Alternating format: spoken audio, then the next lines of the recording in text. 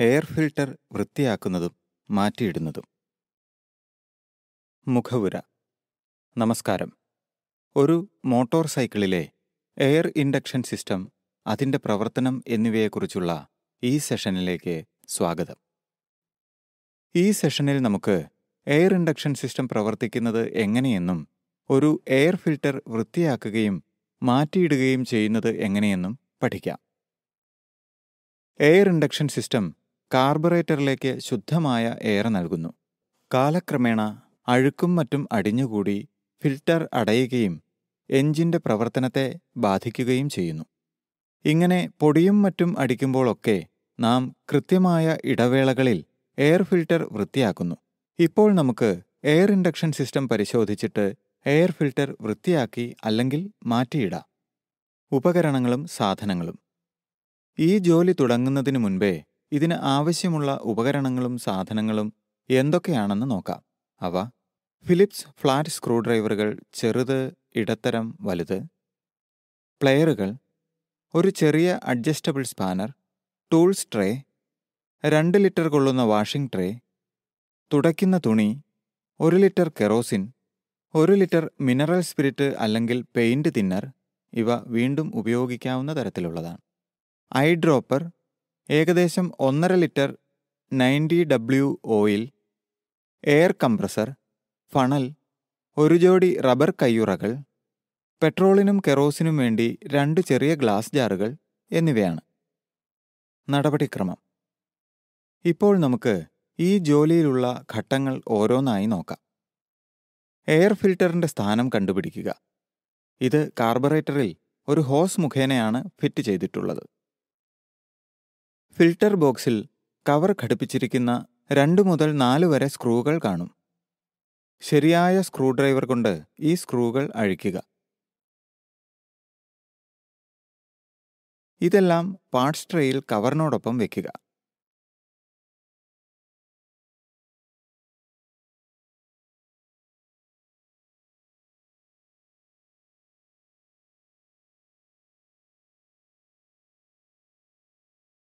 ഇനി foam air cleaner filter ഹോൾഡറിൽ നിന്നും മാറ്റുക.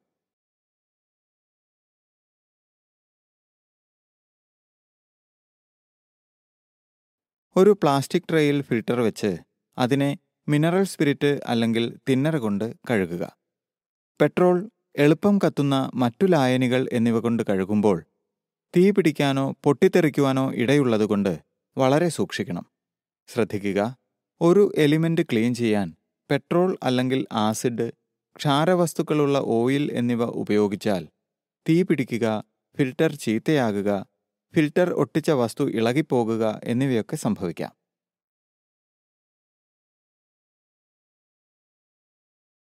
കൈയുറകൾ ഉപയോഗിച്ച് വേണം കഴുകേണ്ടത്.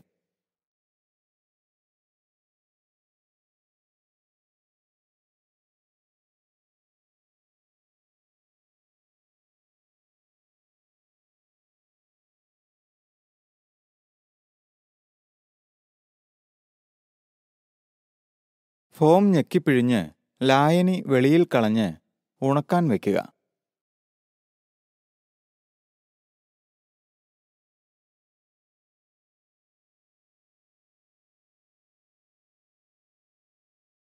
ഫിൽട്ടർ സൈസ് അനുസരിച്ച് അൻപത് മുതൽ നൂറ് മില്ലി വരെ എയ്റ്റി ഡബ്ല്യു അല്ലെങ്കിൽ നയന്റി ഡബ്ല്യു ഓയിൽ ഫിൽട്ടർ എലിമെന്റിൽ ഒഴിക്കുക. ഫോമിനെ പലതവണ ഞെക്കി. ഫോമിന്റെ എല്ലാ ഭാഗങ്ങളിലും ഓയിലിന്റെ അംശം എത്തിക്കുക.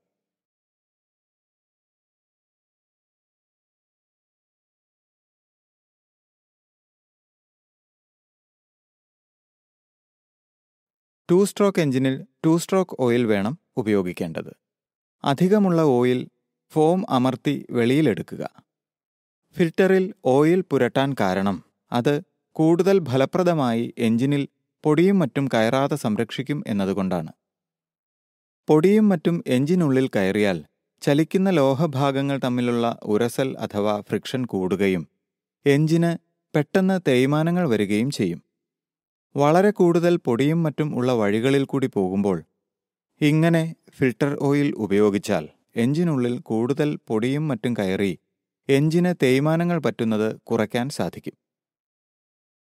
ഫിൽട്ടർ എലിമെന്റ് തിരിച്ച് ഹോൾഡറിൽ വയ്ക്കുക ഫിൽറ്റർ ബോക്സിന്റെ അടപ്പ് തിരികെ വെച്ചിട്ട് സ്ക്രൂകൾ അല്പം മുറുക്കുക.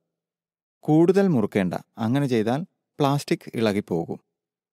സൈഡ് കവറുകൾ എല്ലാം തിരികെ വെക്കുക.